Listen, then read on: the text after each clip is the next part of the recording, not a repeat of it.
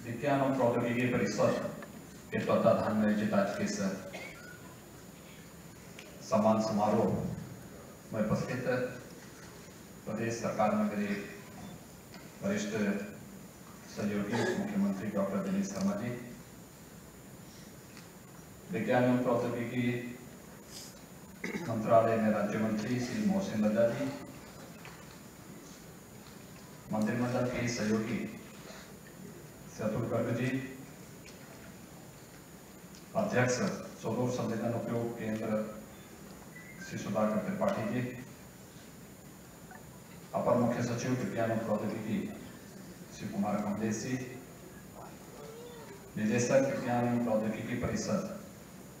श्री नवी दिनेश कुमार जी और आज के इस विशिष्ट सम्मेलन में उपस्थित प्रदेश के सभी ख्यातिलब्ध वैज्ञानिकगण? युवा वैज्ञानिक,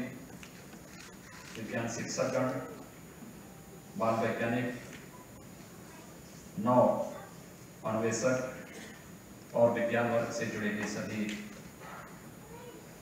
प्रदेश के विभिन्न संस्थाओं के उपस्थित छात्र छात्राएँ उपस्थित महानुभाव मैं सर्वप्रथम यहाँ पर आज सम्मानित होने वाले इस श्रेणी के सभी वैज्ञानिकों,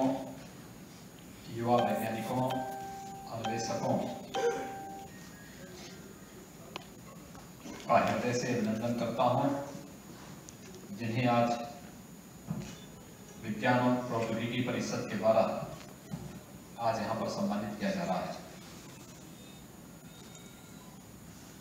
विज्ञान का हम सबके जीवन में